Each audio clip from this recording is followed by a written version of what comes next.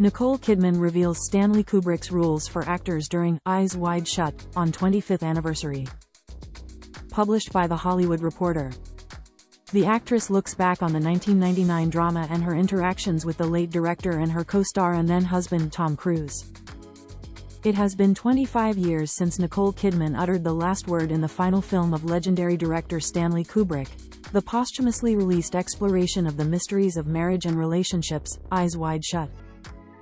Speaking with the Los Angeles Times, the actress looks back on working with the filmmaker on the 1999 drama, which she calls a career in itself, and its record-breaking production length. Eyes Wide Shut, based on the 1926 novella Traumnovelle by Arthur Schnitzler, took 400 days to shoot in the late 1990s and began while Kidman was still in her 20s. Her co-star and then husband Tom Cruise was arguably Hollywood's hottest star. The shoot began, as Kidman recounts in the new interview, with the couple spending a lot of time with Kubrick, a living legend but one who demanded they not put him on a pedestal. The three became comfortable enough with one another that the two actors were comfortable throwing in ideas and improvising during filming, she says. But was Kubrick delving into the couple's marriage to extract their lauded performances? I suppose he was mining it, Kidman says. There were ideas he was interested in. He'd ask a lot of questions. But he had a strong sense of the story he was telling. I do remember him saying, triangles are hard. You have to tread carefully when it's a triangle. Because one person could feel ganged up on. But he was aware of that and knew how to manage us. Kubrick's rejection of a hierarchy during the shoot and demand that the three be on the same level, that kind of hierarchical thinking hinders the creative process, Kidman recalls him saying.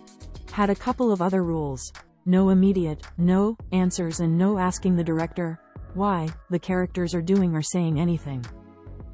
He didn't want sycophants, and everyone has to wait at least 10 seconds before they say no to an idea. I heard that, and I'm in my 20s, and I'm like, okay. It's on, she reveals.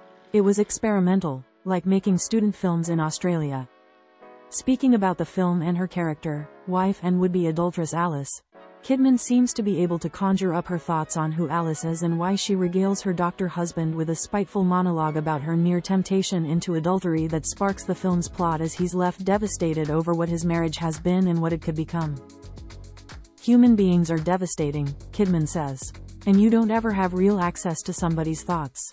You may know someone, and you may not. It's not the things we may want to hear, but it's deeply honest.